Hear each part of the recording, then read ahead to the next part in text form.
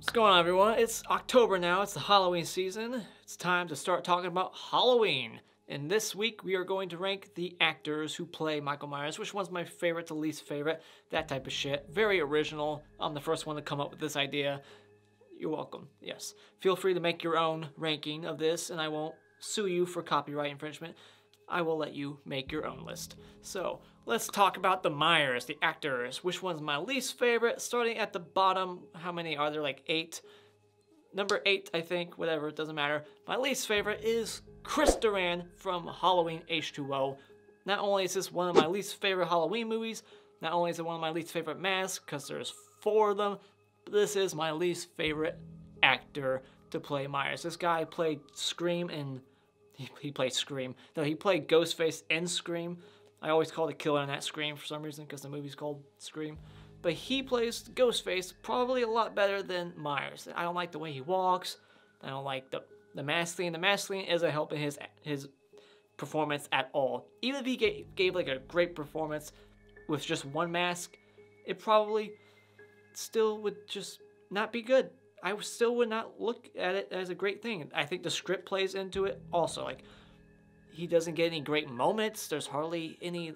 Like, this is the Myers that I wouldn't mind chasing me down the street because he would just be walking with his head down. Just the, like, the way he, like, stares down. Like, he does this weird head thing where he's, like, staring, like, with his head tilted low. Like, he's, like, a lion hunting, like, a gazelle or something. It's just, I'm not a fan of it. I'm not a fan of the whole suction, like, the eyes like the mask like sucked to his face and like like a big old hole around his eyes. Like I said, the mask thing's not helping him out. He has barely any screen time in this movie. It's a short movie too. I think it's the shortest Halloween and he's in it for like 15 minutes at the most. He does nothing memorable, doesn't bring anything that new to the character. It's just not a great performance. I'm not gonna shit on it for too long. I think you get the point. I don't like it. Just not a fan of it. So moving on to number seven, I believe, Brad Loree. Now, what holds this guy up above Chris Durand is that he actually has some great moments in this movie. Not a great movie, probably the worst in the franchise. If you ask any Halloween purist out there, any Halloween Michael Myers fanatic, they'll tell you this is the worst movie, but hardly anyone puts him at the bottom, I don't think. But if they do, it's just because they hate the movie. But he's got one mask at least, and but he's got great moments where he's like chasing that one girl down like that tunnel. There's some cool like visuals of my, like the way Myers walks in this movie is way better than Chris Durand. He's more brutal. He's got more strength. The way he like slices that girl's head off with one just one swoop, and the the guy he like puts up against the door with knives. He just goes and grabs two more and stabs him again. Just little things like that add to Brad Loree's performance. To that Myers, I think, is way more intimidating and does more than Chris Durand does. Like this Myers probably would have killed that girl and woman in the bathroom. Chris Durand's Myers did not. Uh-uh. This Myers would probably fuck them up. So yeah, that, that puts him above Chris Durand. So moving on to number six, Dick Warlock.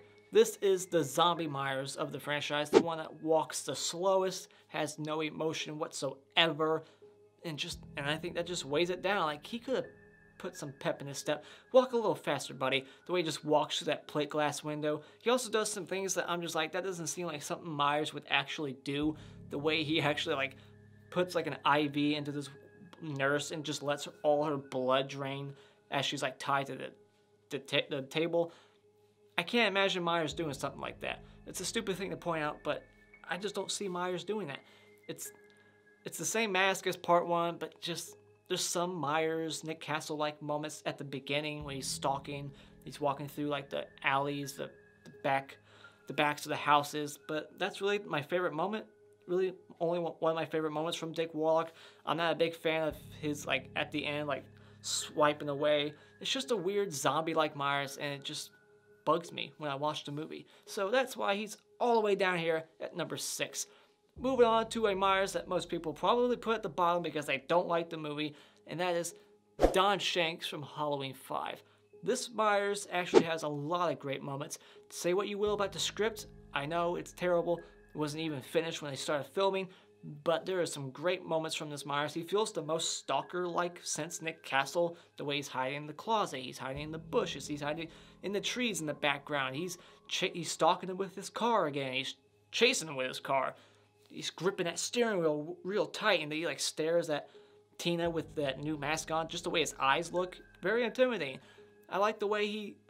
The mask I know sucks, but we're not ranking the mask. We're ranking the actor. He's got some great moments where he charges through that door, just accident, or stabbing it with a butcher knife, and he throws that cop out the window, stabbing that garbage chute or whatever that was, a laundry chute, chasing like Jamie Lloyd, just grabbing up at her, trying to get her. This is an intimidating Myers. He's very strong, very brutal. Not the most brutal, we'll get to that. But I don't think it's the bad Myers. Everyone says that he's not he's forgettable and he doesn't do anything. I think that's Chris Durand, not Don Shanks. Don Shanks does a good job. So number five, I believe, Don Shanks. So number four goes to George P. Wilbur from Halloween 6 and Halloween 4. This actor, he got two opportunities, so that helps him a lot, but which one do I like him the most in? Well, I like the brutality from him in part 6, the way he just twists that one guy's head all the way around. He's got a lot that that massacre and the theatrical cut. In Halloween 4, he does a lot of like I think George P. Wilbur has the most body count, and not just because he has two movies. In both of his movies, I think he has the highest body count out of all of them. Just the way he walks, he's walking across the street in Halloween 6. You got that rock and drum beat playing in the background. He's got a great mask in six, uh, a great mask in six. I don't like the whole like cult controlling him things. I don't like that about it. But just a very good performance by him. I would want him chasing me the least compared to the other ones. So, moving on to number three, I believe. Top three, baby. Tyler Mane from Rob Zombie's Halloween, Halloween 2. This is probably, next to James Drew Courtney, the most brutal Myers. He grunts. He even talks at one point in the director's cut. Die! Stabs Loomis. Just, I love that added characteristic to Myers now that he can actually like make noises and grunts. He's just a pissed off guy. He's not a supernatural person anymore. He's an actual being. He's a hobo in part two. But in this, I like him more in one and aspects of him in part two, like that dream sequence. I don't like the whole movie after the dream sequence of Halloween 2. I'm just not a fan of that Myers. But the dream sequence of Halloween 2 and Tyler Mane in Halloween 1, he's the tallest, so that really adds to the intimidation. He's the most violent. He's, he stabs a lot more.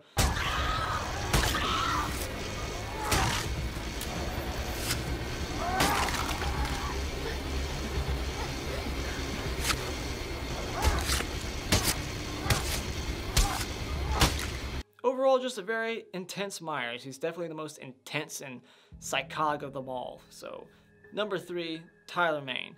So, what's it gonna be? What's number two? What's number one? Am I gonna go with the original, the classic, the William Shatner mask wearing Nick Castle, or am I gonna go with the new modern mix match of both Tyler Mane brutality and stalker Nick Castle like qualities? Uh, James Drew Courtney from Halloween 2018.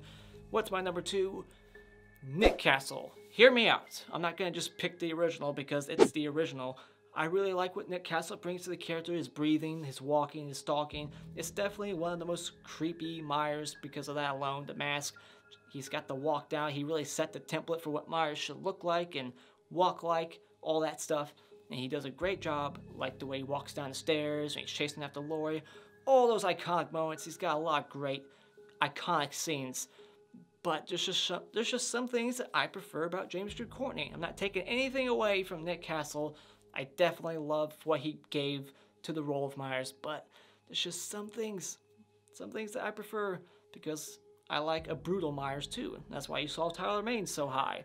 But he was missing that stalker-like quality that James Drew Courtney has. So yes, I could say, I could talk all day about how great Nick Castle is, but I'll just let other people on YouTube do that too. You can go look at any other video and they'll praise him for hours. So that's all I'll say about Nick Castle. Great Myers, but not the best. I think James Drew Courtney just edged him out, just edged him away from the number one spot just a little bit because he's got the perfect blend. He's basically like Nick Castle and Tyler Mane got together and they created James Drew Courtney.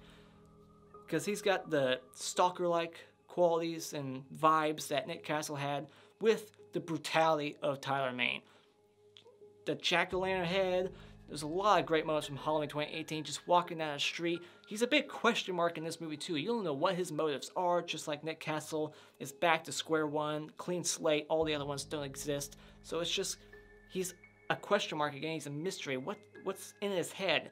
He makes me wonder the most. Like, I'm just very curious about him and his mental state. Like, he's just been sitting there for 40 years, and then finally he's just like out. So he's more patient than Nick Castle. Nick Castle could only wait 15 years. This guy waited 40, and then he's just brutal. He's just brutally murdering everybody. Doesn't give a fuck. Just hammering people in the background and just destroying that guy's jaw. Like I said, just brutal. I love this Myers. He's got the walk down, the breathing, a great mask. Just an overall great performance by James Drew. And I hope that he will be returning in Halloween Kills and Halloween Ends.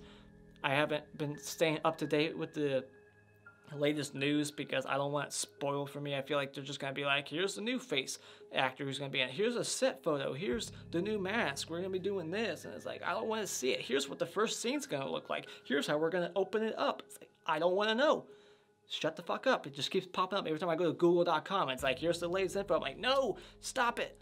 So yeah, just I staying away from that. I don't know if he's gonna be in the new one, but I hope and pray that he will get another chance and maybe even more people once they see him at it again the second time will agree with me that he is the best Myers. Like I said, not taking anything away from Nick Castle, great, but James Drew Courtney is hands down my personal favorite Myers. And that's my list of the actors who played Michael Myers. What is your ranking? Put it in the comments below. I'd be curious to see what yours is. Thank you so much for joining me tonight. If you like what you've seen here, you can hit this like button and you can become a subscriber today just by clicking on my cartoon face in about 5 seconds. And until next time, Auf Wiedersehen.